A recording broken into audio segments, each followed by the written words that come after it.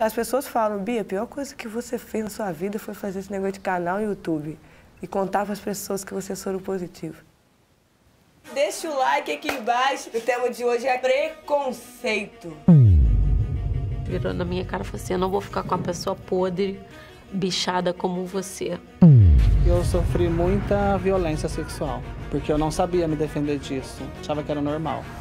Ela queria que eu fosse para a igreja, ela queria que eu me batizasse e Jesus poderia matar o vírus. Vivem com a sombra que o HIV é uma doença gay. E não é uma doença gay, ela é uma doença social. Mas a AIDS está posto para todo mundo. Foi difícil? Foi. Teve mágoa? Teve. Eu achei que ele me traiu? Achei. Mas são coisas que a gente não quer olhar para isso.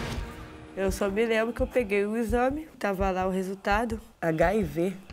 Eu gritava, eu queria me jogar do parapeito do hospital.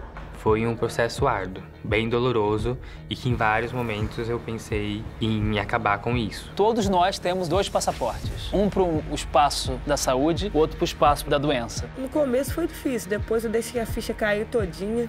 Eu falei, qual o problema de eu ter HIV? Desde quando a sorologia, eu vivia o hoje, né? Eu estou aí, né? Não morri, o HIV não é sinônimo de morte mais. Nos anos 80, no início da epidemia, as pessoas morriam não sabiam nem por quê. A gente nasce militante. Por uma causa, você vai ter que ser militante ativista na sua vida. Por que, que vocês tratam um soro positivo diferente? A AIDS não destrói a moral, não destrói a personalidade das pessoas.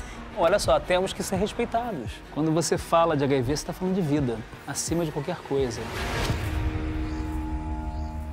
de ser soro positivo, não tenho vergonha, não. Entendeu?